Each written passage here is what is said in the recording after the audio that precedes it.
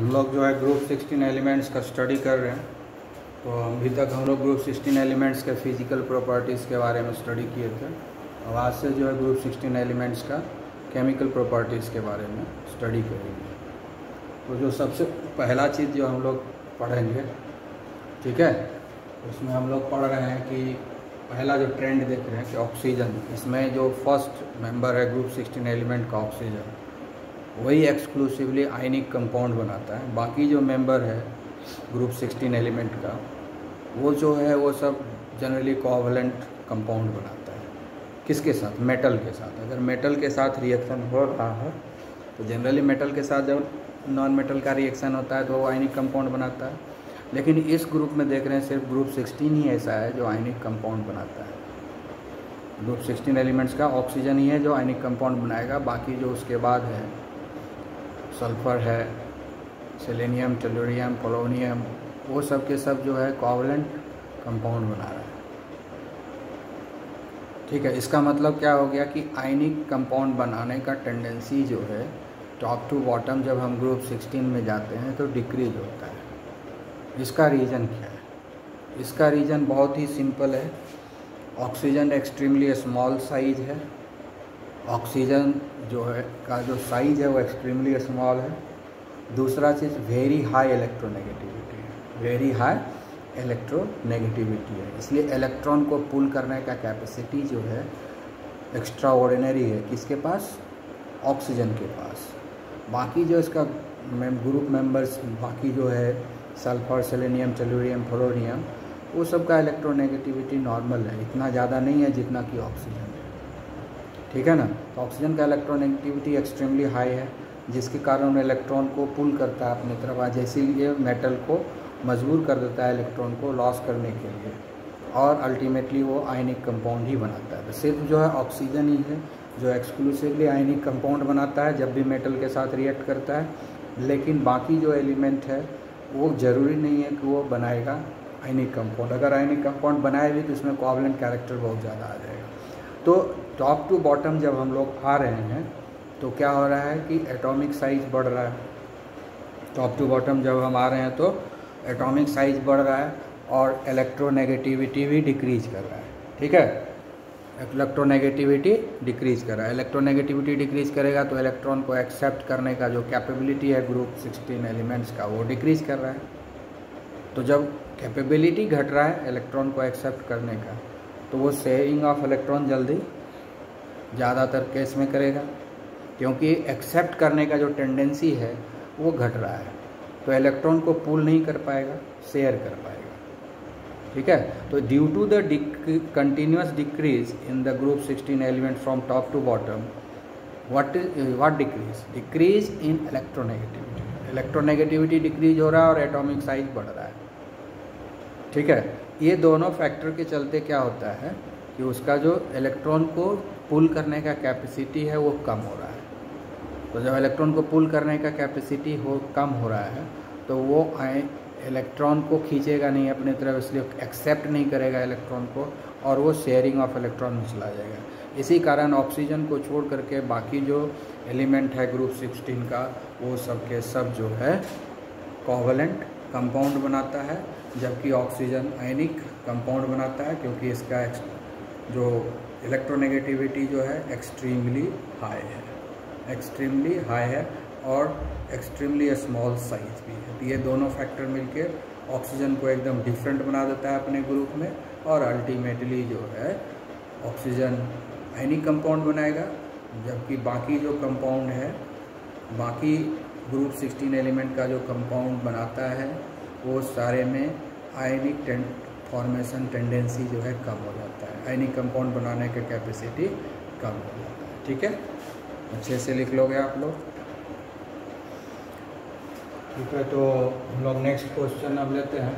तो chemical property hydride formation hydride मतलब hydrogen से रिएक्ट करके क्या काम बढ़ दूर सिक्सटीन एलिमेंट भी हाइड्राइड बनाता है। जैसे कि H two O H two S H two S E H two T and H two P O ये सारा हाइड्राइड्स है। नाम अलग अलग है। है तो ये सब हाइड्राइड्स है ये जो हाइड्राइड्स है, ये सारे के सारे वोलाटाइल होता है है ना? एच टू तो लिक्विड फॉर्म में बनता है, लेकिन ये भी वोलाटाइल होता है। ये लेस वोलाटाइल होता है, क्योंकि इसमें हाइड्रोजन बॉन्ड का प्रेजेंस है। और ये सब में क्या है weak van der Waals forces of attraction है, इसलिए ज़्यादा वोलाटाइल है। ठीक है ना?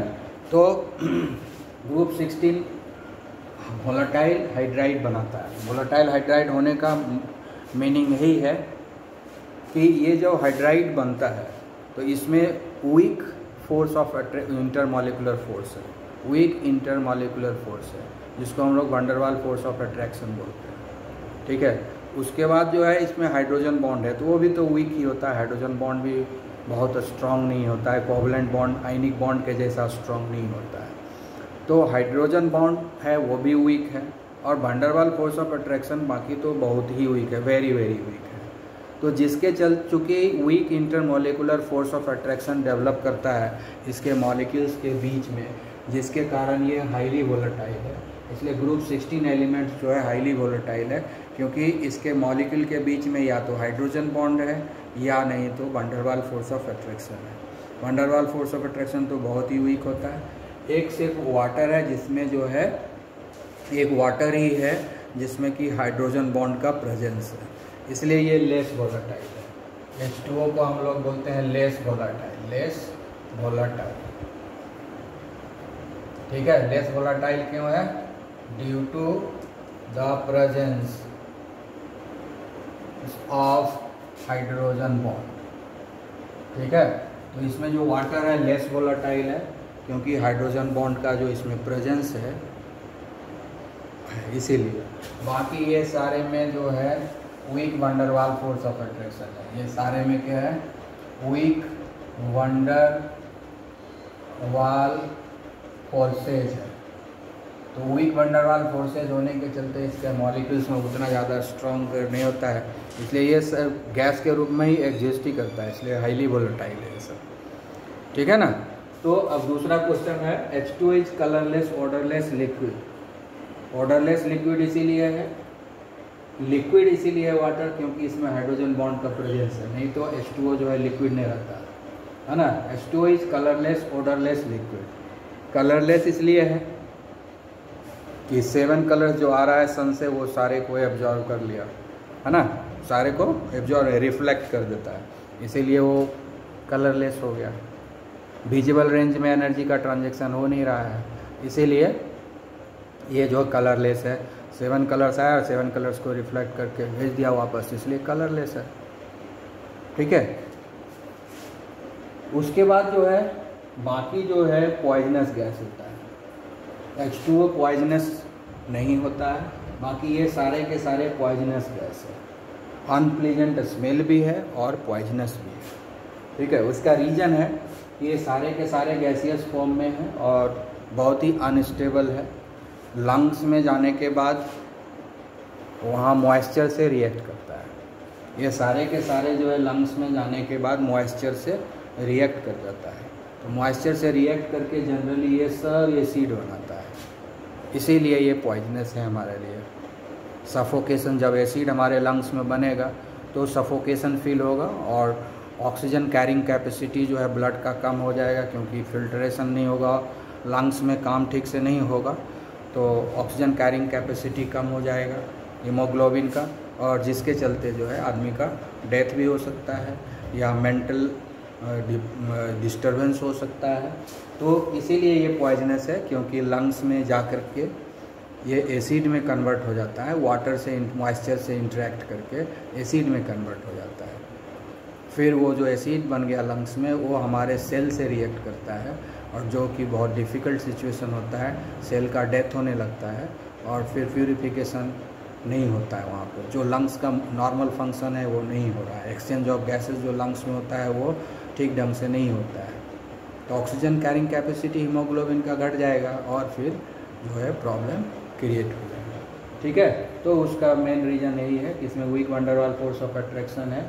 जिसके कारण उसका जनरली वो गैस के रूप में एग्जिस्ट करता है और बहुत रिएक्टिव होता है क्योंकि इसके जो बॉन्ड है वो भी अनस्टेबल है। इसका जो थर्मल स्टेबिलिटी है बॉन्ड का वो भी अनस्टेबल है। तो जिसके चलते क्या होता है? बहुत जल्दी रिएक्ट करता है मॉइस्चर से। ओके हम लोग जो है यहाँ पर और स्टेटमेंट है, पढ़ा चुके हैं, उसी को इसी सबको दूसरे तरीके से भी पूछा जा सकता है। The volatile nature of hydrides first increases from H two O to H two S and then decreases S ठीक है ना? तो एच टू ओ से एच टू एस की तरफ़ जो है वोलाटाइल नेचर बढ़ेगा, इसलिए कि इसमें हाइड्रोजन बॉन्ड का प्रेजेंस है। और ये सारा गैस है इस सब में हाइड्रोजन बॉन्ड का प्रेजेंस नहीं है इस सब में भंडरवाल फोर्स ऑफ़ अट्रैक्शन है। भंडरवाल फोर्स ऑफ़ अट्रैक्शन है। इसलिए जो वोलाटाइल नेचर है, वो डिक्रीज करेगा इधर। इधर पहले क्या होगा कि जो वोलाटाइल नेचर है, यहाँ वाटर का सबसे ज़्यादा होगा हाइड्रोजन बॉन्ड के चलते। तो और इस सब में हाइड्रोजन बॉन्ड नहीं है। तो यहाँ पर जो वोलाटाइल नेचर है, कम होगा ये सारे का। तो पहले वाटर से सर इधर हाइड्रोजन सल्फाइड की तरफ़ जब जाएँगे तो वोलाटाइल नेचर जो है पहले इंक्रीज करेगा। क्योंकि हाइड्रोजन बॉन्ड इसमें है तो स्ट्रॉन्ग बॉन्ड ऑफ़ अट्रैक्शन है। मंडरवाल फोर्स के आगे हाइड्रोजन बॉन्ड का मजबूती बहुत ज़्यादा होता है स्ट्रेंथ बहुत ज़्यादा होता है। इसलिए इसका वोलाटाइल नेचर सबसे कम हो गया। सबसे एक्सेप्शनल बिहेवियर हो गया। ग्रुप में सबसे ऊपर है, लेकिन एक्सेप्शनल बिहेवियर है। सबसे कम है, जबकि सबसे ज़्यादा होना चाहिए था। लेकिन सबसे कम है। उसका रीज़न है हाइड्रोजन बॉन्ड फॉर्मेशन है इसमें। जिसके चलते ये गैस नहीं होकर के लिक्विड में मिल जाता है। बाकी ये सब तो गैस है। अब चूँकि बाकी में हाइड्रोजन बॉन्ड का प्रेजेंस नहीं है तो ये लूजली लूजली बाउंड है इसका मॉलिक्यूल्स इसलिए ये सब का जो है वोलाटाइल नेचर इंक्रीज कर गया। वाटर के कंपैरिजन में ये सब का वोलाटाइल नेचर इंक्रीज कर गया। तो यहाँ से यहाँ जब आए तो वोलाटाइल नेचर इंक्रीज किया।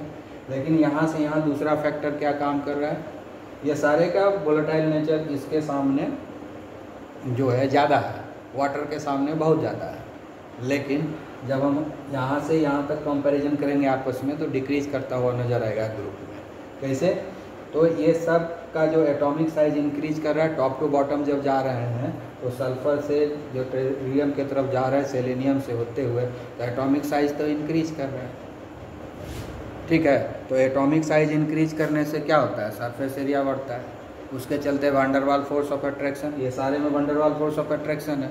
तो एटॉमिक साइज़ इंक्रीज करेगा सरफेस एरिया इंक्रीज करेगा मॉलिकुलर साइज़ इंक्रीज करेगा तो van der Waals force of attraction increase कर जाएगा। Van der Waals force of attraction जब इंक्रीज कर जाएगा तो थोड़ा सा वोलाटाइल नेचर क्या हो जाएगा? कर्व हो जाएगा, कम होता जाएगा। तो वोलाटाइल नेचर कम हो गया इसीलिए। ठीक है so these are the explanations okay you might understand